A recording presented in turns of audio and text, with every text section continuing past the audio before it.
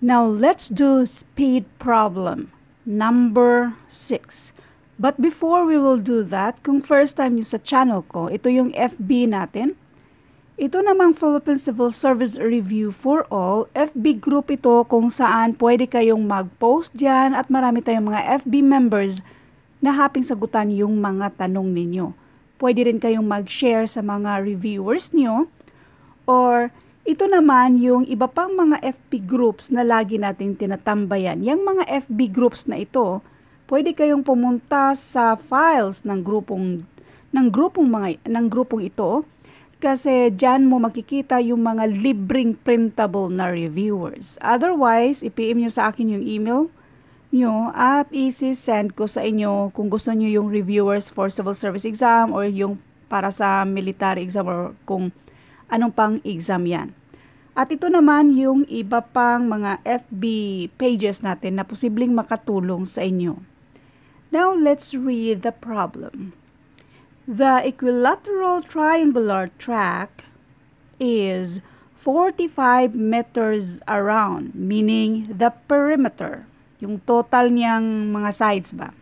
If a boy can run around it in 90 seconds, first question, what is the speed of the boy in meter per second. Ito yung lagi kong sinasabi when it comes to speed problem, no need nang mag-memorize ng formula. Nasa mismong question. What is the speed of the boy in meter per second? Ano yung meter? Yan yung distance. Yung second, ano yan? Yan yung time.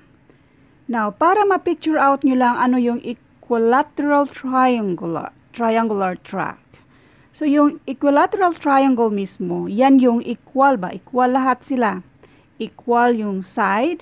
Kung ilan ito, dito sa kabila, equal lang yan sila lahat. Now, ang total daw dito ay 45 meters. Tapos, if a boy can run around in 90 seconds.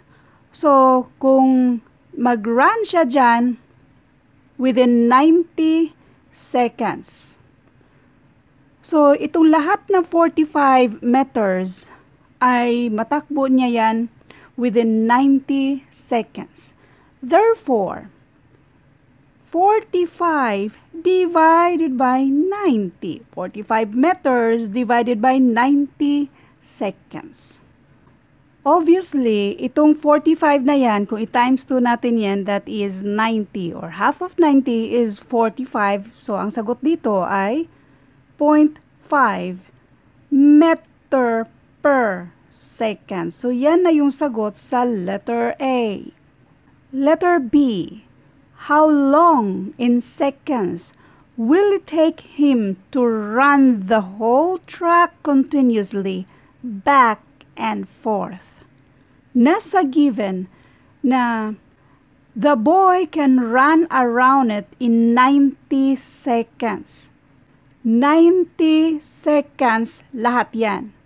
So kung back and forth, times 2 mo lang si 90. That is equals to 180 seconds. Yan na yung sagot. Now, for more examples sa mga ganito, i-search nyo lang speed tapos idugtong yung name natin para ma-sort out or mag-appear lahat ng mga dati na nating na-upload regarding sa speed. Thank you for watching. God bless.